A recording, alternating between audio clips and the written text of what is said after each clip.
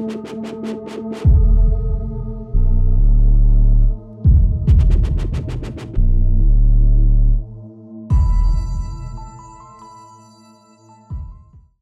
this is Brien Foerster, and what you're looking at below that church in the background is the largest pyramidal site, or pyramid, quote unquote, on the planet.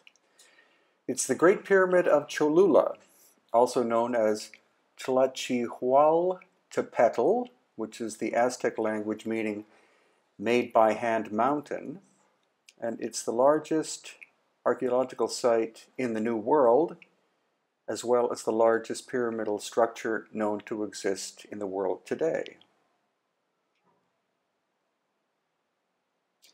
The pyramid is a temple that traditionally has been viewed as having been dedicated to the god Quetzalcoatl.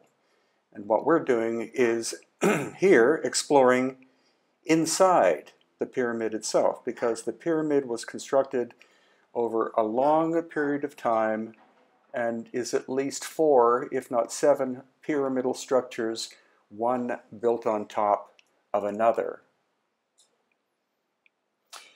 According to sources, the Temple Pyramid complex was built in four stages, starting from the 3rd century BC through the 9th century AD. So that is approximately, that's more than a thousand years of construction and the excavations were done in the 1930s to expose the core or inner structure of the pyramid. There you can see a staircase leading down.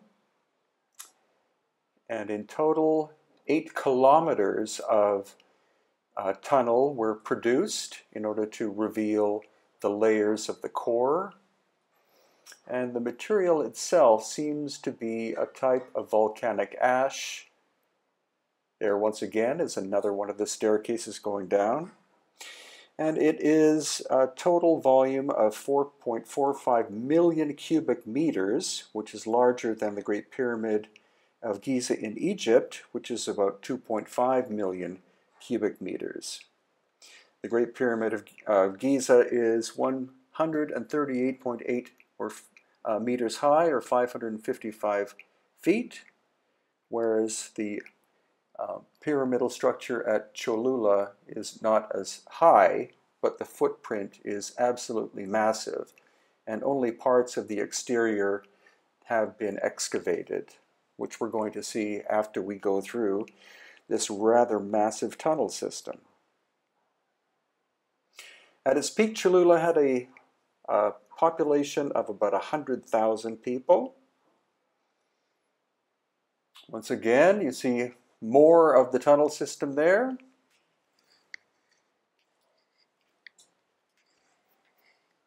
And relatively soon we'll be getting to the end. Uh, most of the tunnel system is locked away from the public, but we, I believe we walked at least uh, two kilometers uh, from the main entrance. The main entrance at Cholula is the tunnel itself, which is really quite fascinating and we walked and walked and saw exposed areas of different layers like you can see here.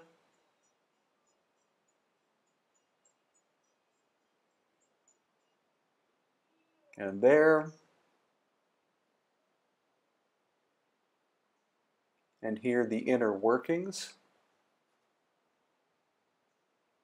So it's quite a labyrinth. Uh, again, you're allowed to see approximately two kilometers of the tunnel system, but it is at least eight kilometers, if not possibly even 10 kilometers long.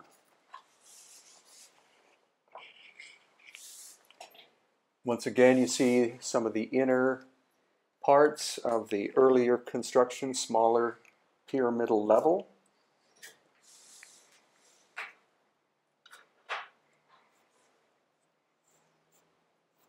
And on and on it goes. Thankfully, the lighting is quite good in here.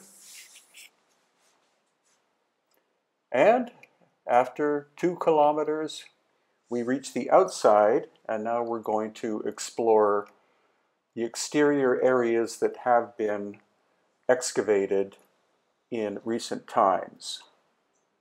Most of the uh, excavations have been done in the 20th century. And here you can see just how massive Cholula is. Again, that church is on the very top of the pyramidal structure. Most of it uh, is overgrown with trees and bushes.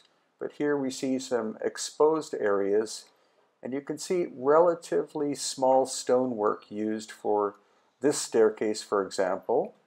And you have a mix of materials. You have limestone, which is the lighter colored material, and then some volcanic rock, which is the more reddish. And since it was constructed over the course of more than a thousand years by different cultures, that's obviously why you have different types of construction techniques, some rather inferior and others quite fine. As always, what I'm looking for are possible evidences of much more ancient megalithic work, and that is what we're going to be able to see near the end of this video. So once again, relatively rough construction work, smallish stones with uh, clay or even volcanic ash mortar.